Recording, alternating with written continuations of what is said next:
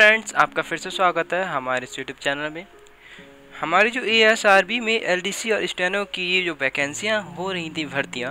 2017 में वैकेंसी जो एलडीसी की थी, वो पोस्टपेन कर दी गई थी किसी कारणवश। उसका रीज़न था कि उसमें 2016 में जो एलडीसी की वैकेंसियाँ हुई थी, उसकी भर्ती अभी की भर्ती प्रक्रिया पूरी नहीं की गई थी। तो उसके लिए 2017 की जो वैकेंसी थी, उसे पोस्टपेन किया गया था, उसका नोटिस आया था। अब जो कि है एलडीसी और स्टेनो की वैकेंसी फिर से फिल हो चुकी हैं और फिल हो रही हैं। तो इनकी डेट आने की तारीख और नोटिस आपके जारी कर दिया गया है। जैसे यहाँ पे आप देख सकते हैं, आपको पोस्टपेंड का नोटिस होगा। यहाँ पर notice regarding tentative answer of stenographer sorry ये नहीं है, ये है। ठीक है पोस्टपेंड ये पोस्टमेंट था ऑफ़ एलडीसी एग्जामिनेशन 2017 का। The post of lower division clerk यानी एलडीसी की जो पोस्ट थी, उसे पोस्टमेंट किया गया था और जो स्टेनोग्राफर की पोस्ट थी, उसके लिए प्रोसेस शुरू कर दिया गया था उसी समय और उसका एग्ज़ाम और उसका स्किल टेस्ट अब है। स्किल टेस्ट का एडमिट कार्ड डाउनलोड डाउनलोड होने लगे हैं। मैं वीडियो के लिंक में डिस्क्रिप्शन में दे दूँगा इसका लिंक आप वहाँ से जाके इसे डाउनलोड कर सकते हैं अपना एडमिट कार्ड अब यहाँ पे देखिए, ये एडमिशन सर्टिफिकेट है, यानी कि यहाँ से ये लिंक आपका प्रोवाइड करा रखा है, जहाँ से आप अपना स्किल टेस्ट करेंगे स्टेनो के लिए। यानी स्टेनो जो हिंदी और इंग्लिश से जिसने भी चूज़ किया होगा, वो हिंदी और इंग्लिश स्टेनो की यहाँ पे जाकर अपना एडमिट कार्ड डाउनलोड कर सकते हैं। उसके बाद यहाँ पे देखिए, यह स्टेनोग्राफ नोटिस दिया था 2017 का जिन्होंने एग्ज़ामिनेशन दिया था और जिन्होंने पास किया है या नहीं किया है, उसका नोटिस यहाँ पे हम पढ़ लेंगे। देखिए, कह रखा था the board had the conducted the computer base सी हुआ था उनतीस दस दो हज़ार सत्रह को। ठीक है, उनतीस दस दो हज़ार सत्रह को इसी दिन एलडीसी का भी होने वाला था, लेकिन एलडीसी का पोस्टपोन कर दिया गया, सिर्फ़ स्टेनो का कराया गया, क्योंकि एलडीसी 2016 में जो वैकेंसियाँ रुकी हुई थी, उनका पहले करा दिया गया। कह दिया गया hereby inform that the test will be held twenty nine दस अट्ठारह यानी कि उनका जो टेस्ट शुरू होने वाला है, वो उनतीस दस अट्ठारह से दो ग्यारह दो हज़ार अट्ठारह तक कंप्लीट करा लिया जाएगा। मतलब इस मंथ से आपके नेक्स्ट दो तारीख तक करा लिए जाएँगे। एडमिशन सर्टिफिकेट यानी कि आपका एडमिट कार्ड स्लॉट जो होगा, वो उस पर दे दिया गया है। आप वेबसाइट पे जाके डाउनलोड कर सकते हैं। This is very advance information advance information to all eligible candidate to enable them to make their travel plan well in advance as per the above schedule तो अब मैं उन सभी को बेस्ट ऑफ़ लक कहूँगा, वो लोग जल्दी से प्रिपरेशन में शुरू हो जाएँ, उनके एग्ज़ाम शुरू होने वाले हैं।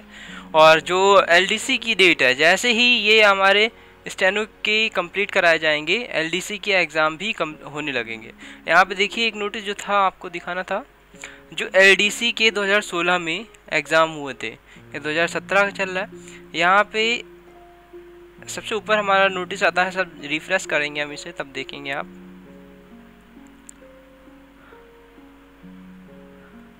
ये देखिए, ये प्रोविज़नल लिस्ट दे रखी है स्टूडेंट्स की जो पास हो गए हैं एलडीसी के एग्ज़ाम में। लेकिन जो जिन्होंने 2016 में दिया था, उनका ये है। ठीक है, जिन्होंने 2017 में फिल किए थे, उनकी कोई टेंशन नहीं है, अभी उनका एग्ज़ाम ही नहीं हुआ है। यहाँ पे इसे क्लिक करेंगे तो आपके पास एक ये नोटिस आ जाता है नोटिस के अंदर आपको बता दिया जाता है। जैसे ही जो क्वालिफाइड हुए हैं 2000 एग्ज़ाम जो था 2016 में भरा था ये इन्फॉर्मेशन अटैच करके लाना है। The following aspect are also both to information to all concern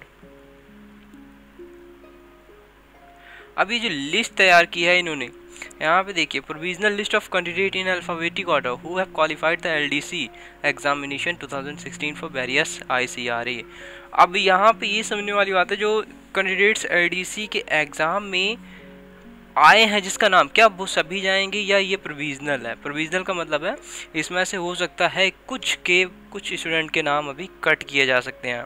और हो सकता है कि सारे सारे स्टूडेंट्स बुलाए जाएँ। वो आपके डिपेंड करेगा आपकी वैकेंसी पर। क्योंकि उस समय जो वैकेंसी थी, उसके हिसाब से 2017 में जो एलडीसी के स्टूडेंट ने एग्ज़ाम फॉर्म भरे थे, उन्हें भी देखना है इन्हें। तो इसलिए जितने भी स्टूडेंट्स हैं, वो अच्छे से प्रिपरेशन करके जाएँ। ये मत समझिए कि ऐसे नहीं होगा। कि उनका सारा ही आ जाएगा और ऐसा भी मत समझिएगा कि आपका नहीं आएगा। आप अच्छे से तैयारी करके जाएँ, सबका होगा। यहाँ पे देखिए, जिसके आगे ये लिखा हुआ है qualified in more than one institute यहाँ पे देखिए, क्या लिखा हुआ है आपका यहाँ पे? अप्रोक्स नंबर यानी कि रजिस्ट्रेशन नंबर था रोल नंबर था कैंडिडेट है नेम कैंडिडेट का, और फादर का नेम है डेट ऑफ़ बर्थ है। और कैटेगरी है, और दिव्यांग है या नहीं है, और दिव्यांग कैटेगरी है, अगर तो कैसा है। तो यहाँ पे देखिए, इस कैंडिडेट के आगे लिखा हुआ qualified in more than one institute तो यहाँ पे ये बात समझ लीजिए, क्योंकि इस बंदे ने जो है 2016 में चल रहा है। 2016 में दो जगह एग्ज़ाम दिया होगा। तो यहाँ पर लिखा आ रहा है qualified in more than one institute मतलब इसकी जो चांस हैं, इसे एक कॉलेज की जगह मतलब जैसे अगर कोई स्टूडेंट्स एलडीसी का एग्ज़ाम देकर पास हो जाता है तो वो जो है उससे एक इंस्टीट्यूट के अलावा दो या तीन कॉलेजेस में मतलब जिस, जो भी प्रेफरेंस उसकी चूज़ रहेगी, उसमें किसी एक में भेजा जा सकता है। यही इसका मीन्स है qualified in more than one institute तो किसी एक इंस्टीट्यूट को प्रेफर नहीं करेगा, इसे जो ए है, दो या तीन इंस्टीट्यूट प्रेफर्ड करेगा और उसमें भेजा जा सकता है किसी एक में, ठीक है? ऐसे से मोस्टली आधे से ज़्यादा स्टूडेंट्स में लिखा हुआ है और जिसमें नहीं लिखा है, वो टेंशन ना लें, उनको भी ये डायरेक्ट ही प्रोवाइड किया जा सकता है।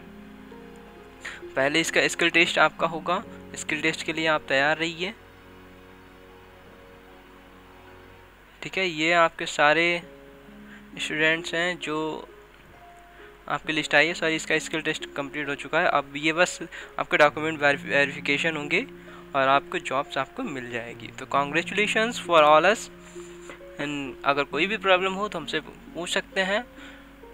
और कोई भी इंफॉर्मेशन निकलती है इसके regarding L D C two thousand seventeen two thousand sixteen या आपका डॉक्यूमेंट वेरिफिकेशन के अकॉर्डिंग तो हम आपके लिए सबसे पहले लाएँगे। थैंक यू गाइस मिलते हैं नेक्स्ट वीडियो में। तब तक के लिए हमारा चैनल सब्सक्राइब कर लीजिए।